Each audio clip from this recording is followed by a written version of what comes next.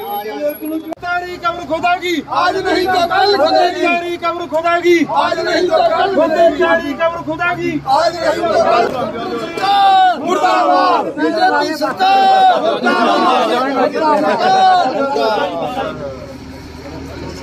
BJP सरकार मुर्दाबाद